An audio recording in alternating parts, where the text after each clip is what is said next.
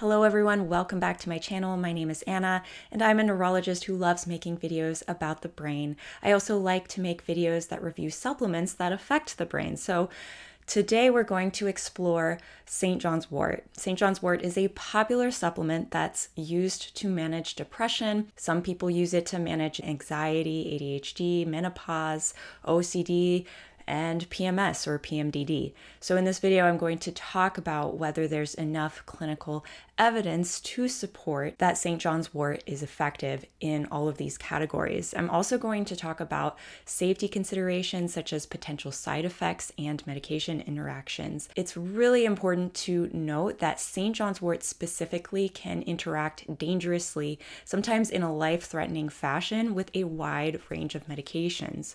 So, I'm going to delve into why St. John's wort in particular among all supplements can so strongly and sometimes dangerously interact with so many medications. Near the end of the video, I'm going to provide a list of several high quality brands that have undergone rigorous testing for safety and quality. This is really important because in the past, third party testing of St. John's wort supplements have found significant issues with quality and also safety. Many of the tested products have been found to have high levels of toxic heavy metals. Other supplements have been found to have too little active ingredient, so less of the active ingredient than what was stated on the labels. I'm also going to talk about commonly used dosages based on the clinical trials. And then finally, I'm going to talk about my own experience with St. John's wort and what brand I have used. All of that being said, let's talk about St. John's wort.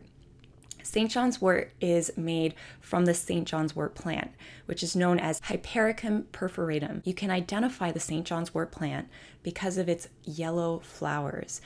It has a rich history in traditional European medicine, which dates back all the way to the ancient Greek times. The plant's name is actually thought to be associated with St. John the Baptist because it typically blossoms around the time of the feast of St. John the Baptist in late June. There are several compounds within the St. John's wort plant that are thought to contribute to its effects, but the compounds that are thought to be most active and that are specifically tested for in quality and safety testing are hypericin and hyperforin. These active ingredients are the most concentrated in what's called the aerial parts of the plant. In other words, the parts of the plant that are above ground. So this means the flowers, the stems, and the leaves, but not the roots. St. John's wort is thought to increase levels of feel good neurotransmitters in the brain. These include serotonin, dopamine, and norepinephrine.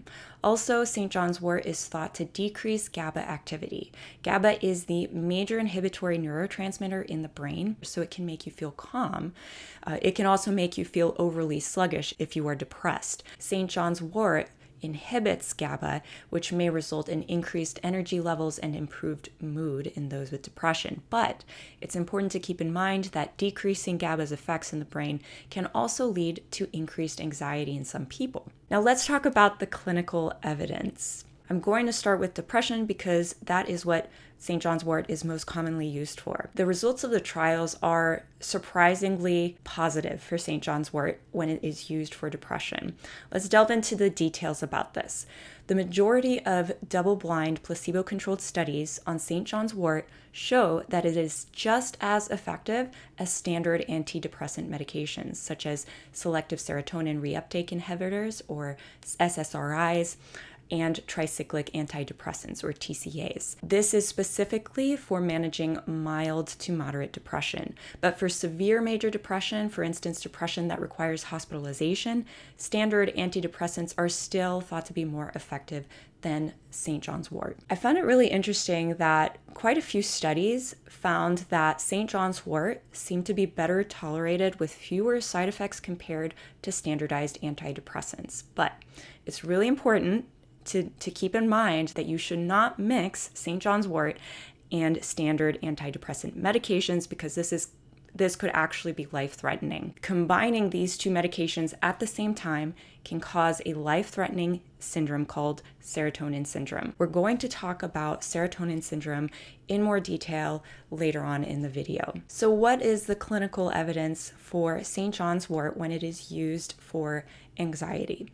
St. John's wort is thought to increase levels of serotonin, dopamine, and norepinephrine in the brain, which can potentially lead to an overall improved sense of well being.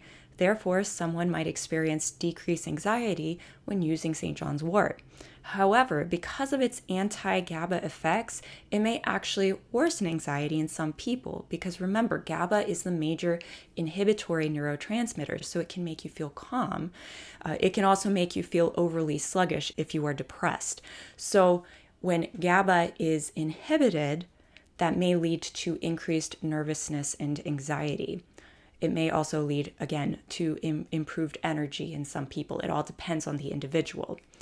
The clinical research on St. John's wort's effects on anxiety is minimal and scarce.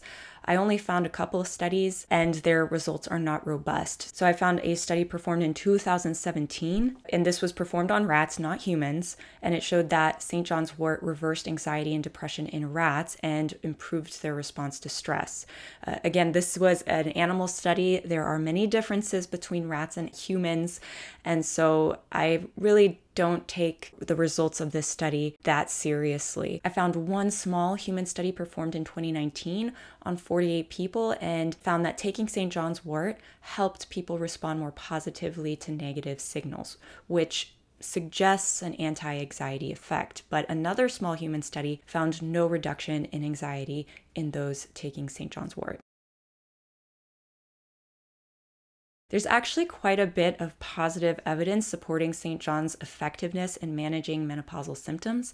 The most commonly improved symptoms in these studies include hot flashes and psychological symptoms such as depression, but one study did also find improved sexual well being and improved sleep. Premenstrual syndrome, or PMS, is characterized by emotional and physical symptoms that occur in the luteal phase, or the last half of the menstrual cycle after ovulation. Physical symptoms can include breast tenderness, abdominal cramps, bloating, headaches, fatigue, and nausea. Emotional symptoms of PMS can include mood swings, irritability, anxiety, and other changes in mood. Premenstrual dysphoric disorder, or PMDD, is associated with similar emotional and physical symptoms as PMS, but the symptoms are typically a lot more severe and can more significantly interfere with a person's life, relationships, and work. I found multiple studies that measured the effects of St. John's wort on premenstrual symptoms, and most of them were actually quite positive. Quite a few randomized controlled trials have found that St. John's wort significantly improves behavioral and physical symptoms associated with premenstrual symptoms. One study did find that while St. John's wort improved emotional lability, hostility, and anger, as well as impulsivity associated with PMS, it did not differ significantly from placebo in terms of its impact on depressive symptoms, anxiety, energy level, pain, and other physical symptoms. Also, one study found that St. John's wort decreased food cravings in women suffering from moderate to severe PMS. One of the standard medical therapies for PMDD is to use an SSRI, but some people just can't tolerate the side effects. Because of the mostly positive results of these studies, some health practitioners have proposed that St. John's wort might be a potential alternative to SSRIs for those suffering from PMDD and specifically for women who cannot tolerate SSRI's side effects. Okay, let's move on to obsessive compulsive disorder. The studies on St. John's wort's effects on OCD are mixed and scarce and not robust. I found a couple studies, one small study performed in 2000 found that taking a specific St. John's wort supplement might improve OCD symptoms when compared to baseline, but the quality of the study was not very high because the study lacked a control group, uh, which means that they were not compared to a group that was taking placebo. I found one more small, higher quality study that found that St. John's wort does not improve symptoms in people with OCD compared to placebo. Somatoform disorder is a condition where people experience significant physical symptoms that can't fully be explained by another medical condition. For instance, a lot of people with this disorder have gastrointestinal disturbances such as abdominal pain or significant diarrhea or nausea, vomiting, pain in various regions of the body, various neurological symptoms, which can lead to significant impairment in someone's daily life. St. John's wort has been found to be effective for somatoform symptoms in two clinical trials that were performed in patients with this disorder. And they found that taking St. John's wort extract reduced symptoms of somatoform disorder by up to 45% after six weeks of treatment when compared to a placebo. With regard to attention deficit hyperactivity disorder or ADHD, the data on this is not robust, it's scarce. I found one small clinical study in children with ADHD, and this found that taking St. John's wort does not improve symptoms when compared to placebo. So, my takeaway from my review of the scientific literature is that St. John's wort is likely effective for depression and possibly effective for menopausal symptoms, premenstrual syndrome, and PMDD, as well as somatoform disorder. There is insufficient clinical evidence to support that it works for anxiety, OCD, or ADHD due to mixed study results and a lack of abundant research in these areas. Let's talk about safety of St. John's wort. This is a very important part of the video because if it's not used safely, St. John's wort can be dangerous, okay? That being said, St. John's wort is generally safe when it's taken appropriately. It may cause the following symptoms listed on this slide. I'm not going to list all of these, you could read them for yourself, but it is important to keep in mind that it can cause manic episodes in people with bipolar disorder and psychosis in people with schizophrenia. Now, here is the important part of this video that I really want you guys to pay attention to. Combining St. John's wort with certain antidepressants, specifically SSRIs, TCAs, and MAOIs, or monoamine oxidase inhibitors, combining it with some anti migraine drugs as well as a pain medication called tramadol. Combining St. John's wort with any of these medications can result in a potentially life threatening elevation of serotonin. This is called serotonin syndrome. Symptoms of serotonin syndrome include severe confusion and agitation, diarrhea, rapid heartbeat, high blood pressure, hallucinations, and increased body temperature. Another major risk associated with St. John's wort involves potential interactions with a variety of other medications. This is because both St. John's wort and many different medications used in our Western world use a specific liver enzyme for their metabolism. This enzyme is called CYP 450. The CYP 450 system breaks down many different medications. St. John's wort increases the activity of CYP 450 and therefore can speed up the breakdown of medications, which subsequently reduces their levels in the blood and decreases their effectiveness. This interaction might occur with as many as half of the medications that are used today. So, this slide lists the most worrisome and dangerous interactions between St. John's wort and medications. But because so many medications are processed by the CYP450 liver enzyme, it's highly probable that if you're on a medication, that medication does interact with St. John's wort, and St. John's wort can potentially decrease the effectiveness of that medication. So, speak with your doctor, uh, check for interactions before starting St. John's wort. Let's address some quality concerns about the many St. John's wort brands available on the market. Some studies in the past have found worrisome findings about many St. John's wort supplement brands. The specific issues that have been found have been number one, several of them tested have been contaminated with heavy metals. The most commonly found heavy metals in St. John's wort include cadmium, which is a carcinogen or cancer causing agent, and a kidney toxin. Lead has also been found. Lead is neurotoxic. Arsenic has also been found in some brands, and that can cause a variety of neurological, gastrointestinal, and cardiovascular symptoms. In the past, third party testing has found that multiple St. John's wort brands have exceeded safety limits for these heavy metals.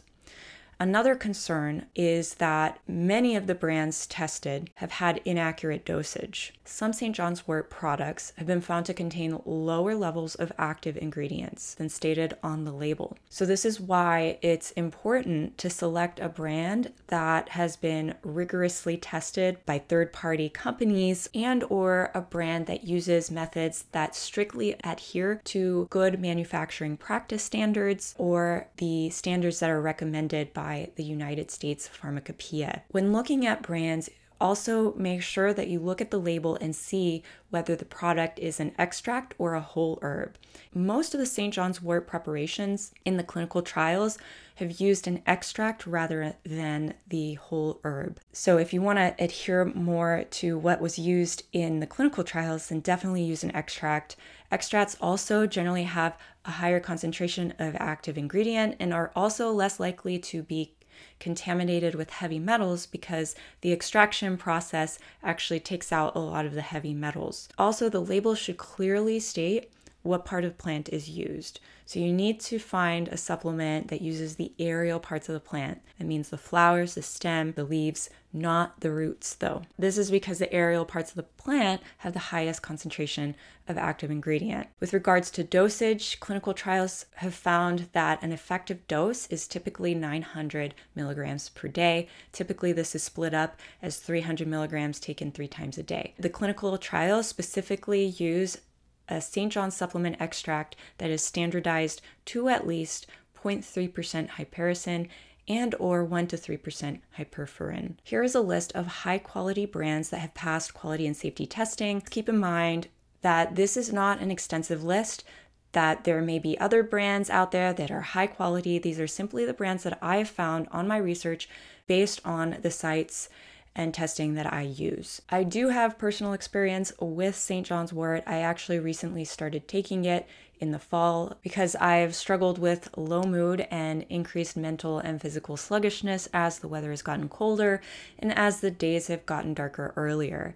These mood changes are fairly typical for me each fall and winter, and uh, I am highly convinced that I probably have some degree of seasonal affective disorder. After beginning St. John's wort this year, I almost immediately felt increased energy and positive mood. Although, based on the clinical trials, it does appear that for most people, it takes several weeks for St. John's wort to achieve an antidepressant effect. So, I don't know, perhaps there is uh, some component of placebo with me. I currently take standard process MediHerb St. John's wort. If you decide to purchase standard process specifically, be sure to purchase it through the manufacturer's website rather than Amazon because I actually looked closely at the standard process that's sold on Amazon and as of December of 2023, it seems like these products are actually expired. Thank you guys for watching my videos. Please let me know if you found it helpful by liking, subscribing, leaving a comment. I truly value your feedback because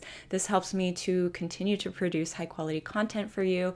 Also, feel free to buy me a coffee if you'd like to give extra love and support to my channel. The link is going to be in the description box below. Have a wonderful day, and we'll catch you next time. Bye.